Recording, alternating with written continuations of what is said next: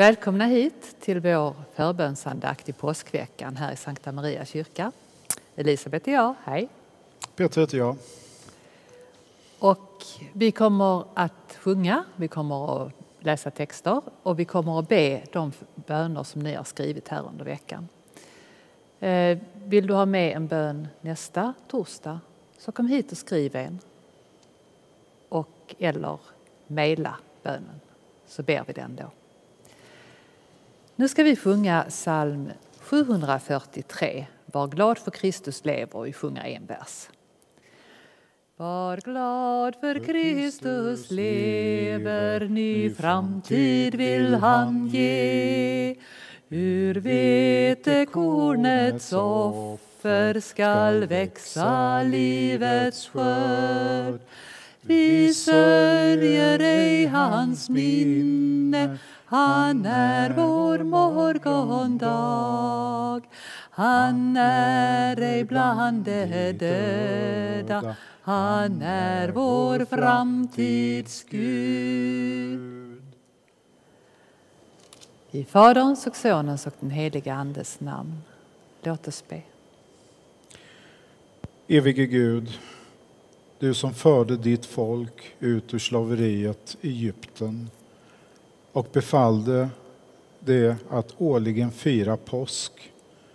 För oss ut ur vår bundenhet och ge oss del av vårt påskalamm, Jesus Kristus, som denna dag har segrat över döden och nu med dig och den helige Anden lever och verkar från evighet till evighet. Amen. Amen.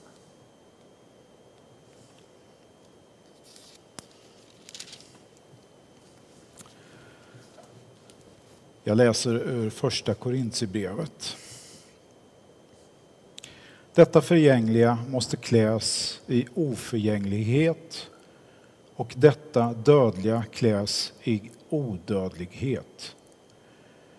Men när det förgängliga kläs i oförgänglighet och det dödliga i odödlighet, då blir det så som skriftordet säger Döden är uppslukad och segern är vunnen. Död, var är din seger? Död, var är din udd? Dödens udd är synden och synden har sin kraft i lagen. Gud var det tack som ger oss segern genom vår Herre Jesus Kristus. Seger, att besegra något. För det mesta så är det något som vi kanske inte riktigt orkar nå upp till. Vi kan längta och vi kan hoppas. Men ibland saknar vi modet. Jesus besegrade han döden? Eller tog han udden av döden? Det är mycket som vi skulle vilja dog undan. Vi kan längta efter att befria oss ifrån minnen som tynger Minnen som vi grämer oss över. Minnen som bara får oss att känna oss små och misslyckade. Vi ska inte dö. Vi ska leva. Men vi ska försonas med minnena. Vi ska försonas med det som har hänt. Och den försoningen visade ju Jesus på när han dog för att uppstå. När han genomgick en smärta för att försonas med det som varit och uppstod senare till nytt liv för att vi alla skulle få ett hopp. Det hoppet kan se olika ut för många av oss. Men att våga gå igenom den smärta som det innebär för oss att försonas med det som är fel. är inte lätt. Vi behöver ett exempel. Vi behöver någon som gjort det för vår skull. Någon som visat att livet finns och går vidare även när det gör ont och att vi får uppstå levande och glada. Eller åtminstone avlastade av det som har hindrat oss. Försonade med det som har varit. Det är aldrig någon som kan göra det åt oss. Men Jesus gjorde det för oss och gör det med oss. Han vill hjälpa oss att uppstå till liv. Till ett liv där det som tynger inte har makt över oss. Där det som vill kväva och döda oss hindras från att få makt över oss. Utan att vi kan försonas och glädjas åt det liv vi har här tillsammans med varandra och tillsammans med Gud. Amen. Låt oss be. Gud, du som skapar och återskapar livet. Tack för att du hör vår bön och möter oss med kärlek.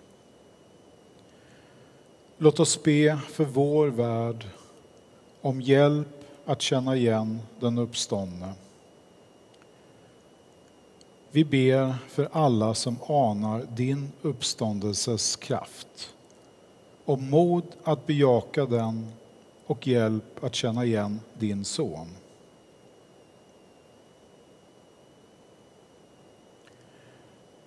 Låt oss be för kyrkan och vår församling om öppna ögon så att vi känner igen den uppståndne.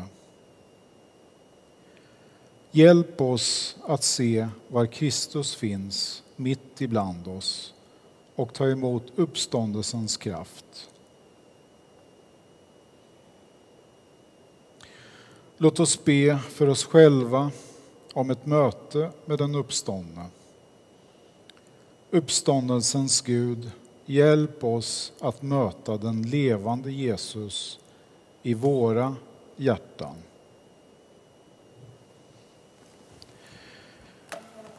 Vi ber också de böner som under veckan har skrivits här i Sankta Maria kyrkan. Gud, lys upp den väg du tycker att jag ska gå.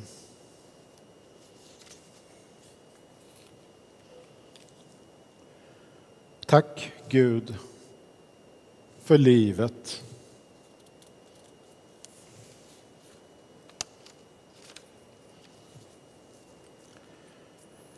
Gud, hjälp oss att våga orka sörja och hjälp oss att gå vidare när vi sörjt färdigt.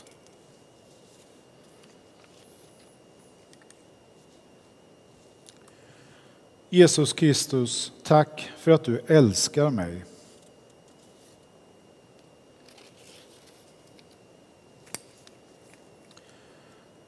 Käre Gud, ta även hand om mina anhöriga som är i ditt rike och låt oss få mer tid med mormor och Ritva.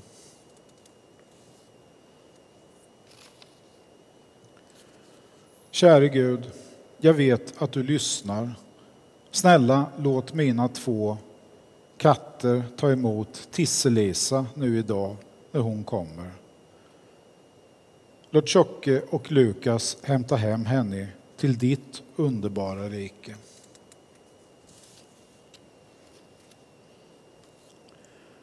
Kära Gud, låt mina katter som är hos dig i ditt rike komma och hälsa på mig och ta hand om Tisselisa.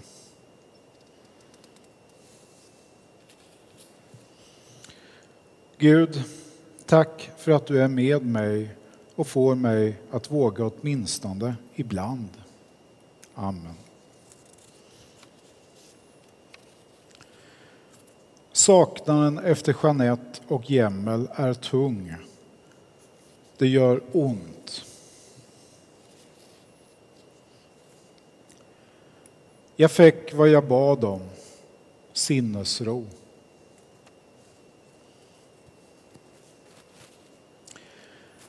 Herre, hjälp oss att räcka till för varandra.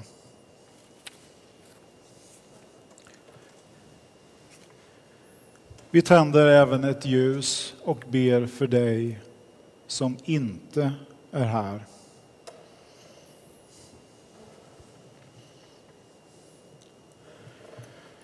Inför dig, Gud, så bär vi också fram dessa tysta böner och överlämnar dem i din trygga famn. Amen. Amen.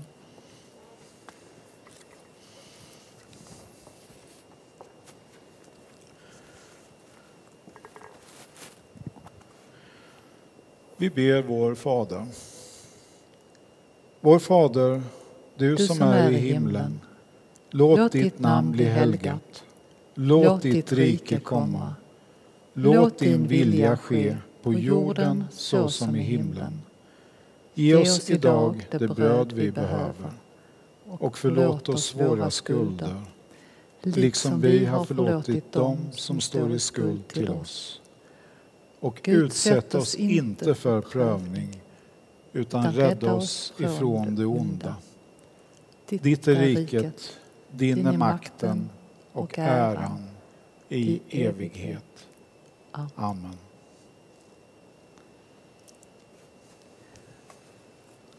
Och vi ber, Herren välsigne oss och bevara oss. Herren låter sitt ansikte lysa över oss och vara oss nådig. Herren vände sitt ansikte till oss och giv oss frid. I Faderns och Sonens och den helige Andes namn. Amen.